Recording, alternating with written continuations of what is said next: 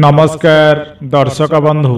ସ୍ୱାଗତ କରୁଛି ଆପଣଙ୍କର ପ୍ରିୟ ୟୁଟ୍ୟୁବ ଚ୍ୟାନେଲ ଅଲିଉଡ୍ ଗସିପ୍କୁ ଅଲିଉଡ୍ର ସୁପରଷ୍ଟାର ବାବୁସାନ ମହାନ୍ତିଙ୍କ ଫ୍ୟାନ୍ମାନଙ୍କ ପାଇଁ ଆସିଛି ଏକ ଖୁସି ଖବର। ଅଲିଉଡ୍ ଫିଲ୍ମ ଇଣ୍ଡଷ୍ଟ୍ରିର ଦୁଇ ଜଣ ପ୍ରତିଦ୍ୱନ୍ଦ୍ୱୀ ହେଉଛନ୍ତି ଅଲିଉଡ୍ର ସୁପରଷ୍ଟାର ବାବୁସାନ ମହାନ୍ତି ଏବଂ ଅନୁଭବ ମହାନ୍ତି। ସେ ଦୁଇ ଜଣ ଅନେକ ଥର ବକ୍ସ ଅଫିସରେ ଲଢ଼େଇ କରିଛନ୍ତି। ଏବେ ଅଲିଉଡ୍ର ଦୁଇ ସୁପରଷ୍ଟାର ଅନୁଭବ ମହାନ୍ତି ଏବଂ ବାବୁସାନ ମହାନ୍ତିଙ୍କ ମଧ୍ୟରେ ରାଜନୀତି ଜୀବନରେ ଲଢ଼େଇ ହେବାକୁ ଯାଉଛି। ଅନୁଭବ ମହାନ୍ତି କେନ୍ଦ୍ରାପଡ଼ା ନିର୍ବାଚନ ମଣ୍ଡଳୀରୁ ବିଜେପି ପ୍ରାର୍ଥୀ ବୈଜନ୍ତ ପଣ୍ଡାଙ୍କ ବିରୋଧରେ ଏମ୍ପି ଭାବରେ ନିର୍ବାଚନ ଲଢୁଛନ୍ତି।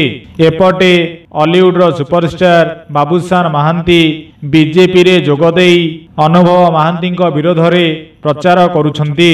ଆଜି ବାବୁସାନ ମହାନ୍ତି ଭୁବନେଶ୍ୱରରୁ ବିଜେପି ପାଇଁ ପ୍ରଚାର ଆରମ୍ଭ କରିଛନ୍ତି ଏବଂ ଏହା ପରେ କେନ୍ଦ୍ରାପଡ଼ା ସହ ସାରା ଓଡ଼ିଶାରେ ପ୍ରଚାର କରିବେ।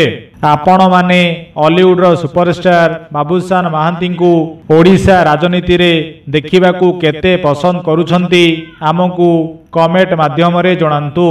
ଯଦି ଆପଣଙ୍କୁ ଏହି ଭିଡ଼ିଓଟି ଭଲ ଲାଗିଥାଏ ତେବେ ଲାଇକ୍ କମେଣ୍ଟ ଏବଂ ସେୟାର କରନ୍ତୁ।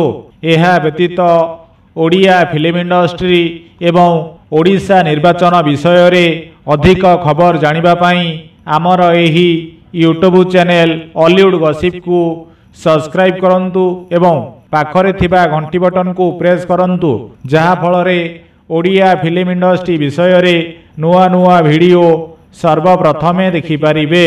जय जगन्नाथ।